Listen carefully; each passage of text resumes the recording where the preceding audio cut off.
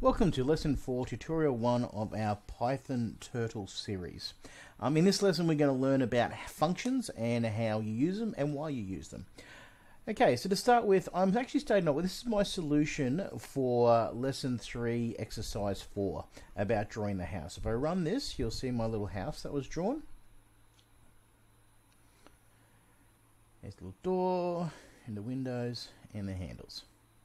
Okay, so that's what I drew up um, for my for exercise four in lesson three. Um, but let's have a look at the code of this because if you've done a similar thing, you'll probably find there's a bit of repetition. Remember the whole dry principle: do not repeat yourself. Let's actually read through this code here. We're going through, creating our, setting up our screen, creating our instance. We're moving a pen, we're drawing a square, we're drawing a triangle, we move the pen, we draw a rectangle, we move the pen, we draw a square, we move the pen, we draw a square, we move the pen, we draw a circle. Okay, so there's obviously some repetition in that. So let's see, what can we do? The two lots of repetitions we have is, is the moving of the pen and the drawing of the shapes. So let's start with the moving in the pen. And what I'm actually going to do is instead of repeating this, because I would have, I, when I typed it out, I didn't type it out, I just cut and pasted that stuff and put the different values in. So for example, if I was here, I just copied this code, I copy this code and I, I then paste the code down here and I change the values for the X and Y.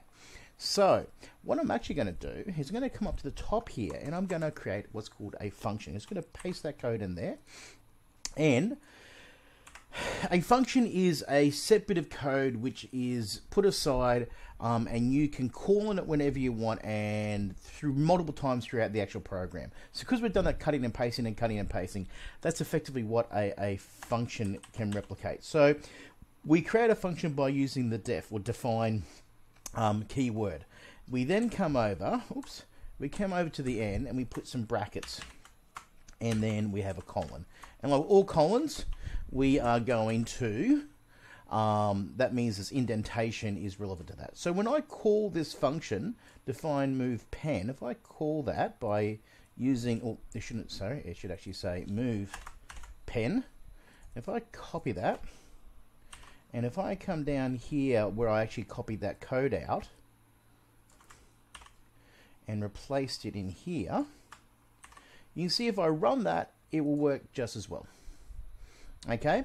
Because at this point here, at line 22, the program, Python will run down and it'll say running down, okay, I'm reading down, down, down, down. I, I know this, I've kept this in mind. I know this little here, it's a little bookmark I put in there. And then I come down and I hit this, said, oh, wait a second, I'll bookmark that. So I'm going to come up and I'm going to run this code. Rightio. Now, at the moment that's pretty useless because at, because these values, these magic values in here, um, don't change. Um, it means that every time I do a different value, I need to actually put a different function in, and that's not going to work. But what are these? And remember, getting rid of our magic numbers. What do these actually represent? Well, they represent the x and the y. So I'm going to say, well, when you call this function, I want you to give me the x value, and I want you to give me the y value that we're going to use. So negative 100 is the x value. I'm just going to cut him out and put him down here. And then 0 is the y value. And in here, I say um, x and y.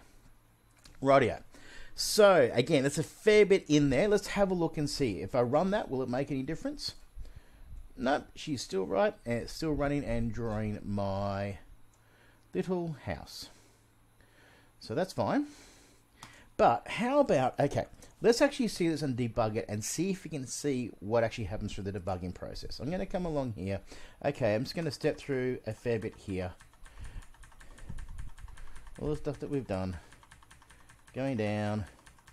Right. Now, here we are. This is the call to the actual um, function. So you can see here it says, okay, move pen. Now, it already knows that move pen is a function. It says it over here in the variables. So I press F here. Oh, this is a value. Negative 100. It's an integer. That's good to know. And 0. And now it's going to call this. And what actually happens, you see this, is calling the separate function. And it actually breaks away from the main program. It steps away into here. And it says what values? X is worth negative 100 because that's what, what, was actually passed in. Z um, y is worth 0. So it comes along here, says pen up. Yep, I know all that.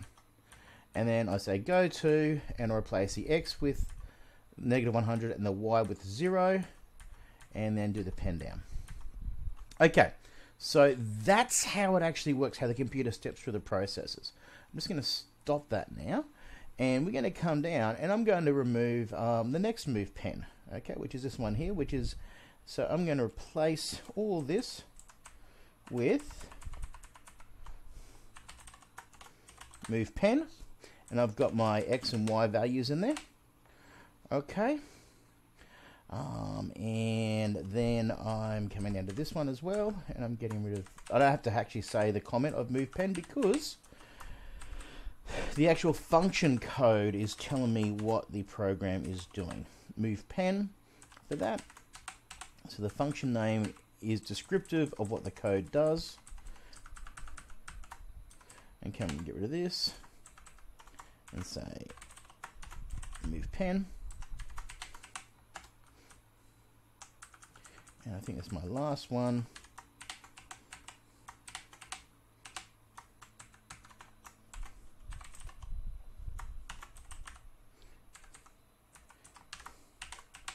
Right, okay, so we've got that there. So I've now got my move pen, move pen, and I run this, just make sure it's going to run fine.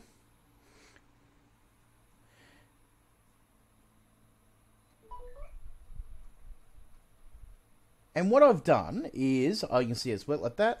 What I've done now, I've now changed it. So the actual code has gone from initially the code was 71 lines long and it's now down to 61 lines. So I've actually pulled that much. I've pulled 10 lines out. Um, right, so let's see. Let's look at the other repetition that we have. Right, it's also a great thing because if there's any errors, see, I know that move pen works fine now. I know that every time that I call move pen, it works well. So with any debugging happening, I don't have to worry about problems, um, any errors coming up. I know it's not going to be in that section. So it's actually what you call modularization. It's breaking the program into little bits. You can test each bit. You know each bit works, and that's fine. Okay, so what about the squares? I've got what one, two, three squares here. So again, I'm just going to copy this code here. I'm going to bring it up to here and make it into a function. Now, generally, we put functions at the beginning of code. Um, why do we do that? Um, it's, it's just a style thing. It makes life easier um, for people reading your code because they know where all the functions are. You know where you can find it. You don't have to scroll through your code looking for it. So you normally have your imports at the top, um, and then you have your functions towards it um, following that. So here we go. Import for one in range four. Well, it's a square, so it's one and four anyway. Now, this here is two magic numbers. So how can I get rid of those magic numbers? So what does that represent? That represents the size. So I'm going to come up here and say size, comma. And then I'm going to come here, and this is the, well, I have to say 90, I don't need to because it's just 90 is 360 divided by the 4, which is up here. And it's a square, so it's 90 anyway. But, right, yeah, so size is what we've got. I'm replacing size in here, and that is now, um, I come down to here, and I say drawing a square. So I'm just going to call my new function called draw square, and I'm going to pass the size of the square, which is 200, which is for that one there. Going to leave the draw triangle. That's not in there either. Um, I'm going to come down to here. Uh -huh. I'm going to come down to here and say um, draw rectangle. Don't want that either. So I'm going to go draw square. That's another one. Bring this in here. Oops. All over the place. There we go draw a square. What size is my square? My square is 35.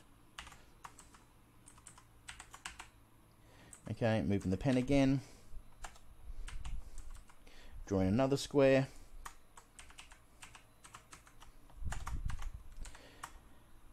And this one is again 35. Closing that off. And then I'm moving the pen again and I'm drawing my circle. Okay, So awesome. I've done that. I've moved the lines down, and then it's now down to 52. Remember, it started at 71 lines. It's down, down to 52 because I'm pulling all that repetition out. And again, because I know this works, because I know this works, I don't have to worry about testing it anymore. I know if, if there's an error, it's not going to be in here. And if I did make a mistake, I would only have to correct it in one location. So for example, if I had done this accidentally, and I run it, and it's like, okay, well, oh, that wasn't what I intended. That's wrong. Okay, so I can stop it and go, where's the error? Okay, it's in my square drawing problem because that's the code that deals with drawing a square. Okay, so let's see. I'm just going to check. Um, and the other thing you notice here that's more readable. What's happening is I don't have to worry about these comments. I'm going to say I'm moving the pen, I'm drawing a square.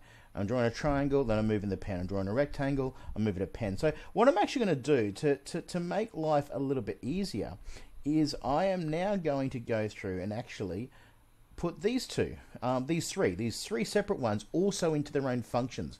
Just because it means that I've got my separate code that I can check that it's actually working. Um, it makes it easy, easier to, um, it'll make it easier to, um, to read the actual code so I can follow it up. Um, so yeah, we're going to put the actual rectangle one in here now. So I've got two values in here. I've got the, the short and the long. So let's just copy that up here um, and put that in under here and say, right, you go away. Now you see all this here, I mean actually just selecting it all and pressing tab to indent all those characters in one go. So for range 1 and 2, this is going to be the short and this is the long, okay? Or you might have other ways you want to do it, but we call short and long. And so when I actually pass those values to draw rectangle, I'm going to say, so what's it want? It wants long value first, so that's 100, comma, um, and the short value next. To actually, what I'm going to do, I'm going to change those around actually, so it makes more sense because if I want to use rectangle for another one, long and short is not really useful. So I'm actually going to change this. This is going to be called, so the long was that was up and down, so that's going to be called vert, and this one is going to be called um, hos for horizontal. Oh, hori. Horizontal, okay? So the short one was a horizontal one, and the long one was the vertical one. So again, so I want the vertical, when I draw a rectangle, to be 100, and the horizontal to be 50. So okay, that's that done. So I've got draw a rectangle now.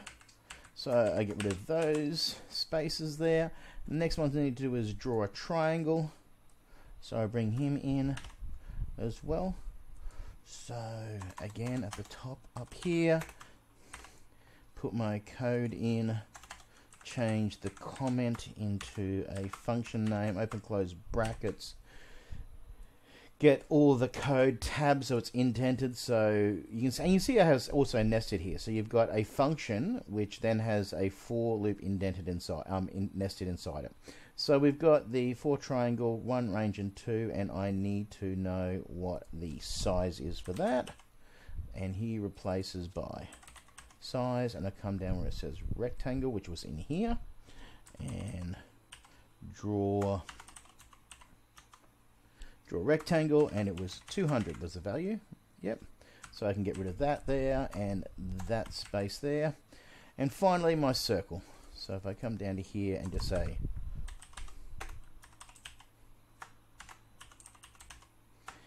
okay draw a circle and it's going to be size as well. And what I've got to put in here, I've got to put that value.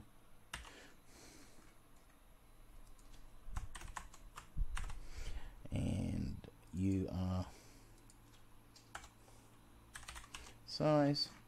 And I come down to here which says draw circle and I put my size in of 5 and then hiding that so you can see okay it's blown it it's gone out to 54 because I had some things that weren't um, repeater. But now I also have a situation where I have got all these shapes that I can draw. So if I wanted to use this code to draw something else, I can call on that. So the two advantages of doing your, well, the three advantages of doing your functions. Um, the first one is to reduce repetition. Um, which means that it's easier to maintain, it's easier to adjust, it's also easier to identify where the errors are. The second one is that being able to modularize your code, you can run code, you can know that that code works, and then you no longer have to worry about the actual whether the function has an area. Oh, look at that! Horizontal is missing. Vertical. Um, draw rectangle. Draw rectangle. Horizontal, vertical. Um, draw rectangle missing one required.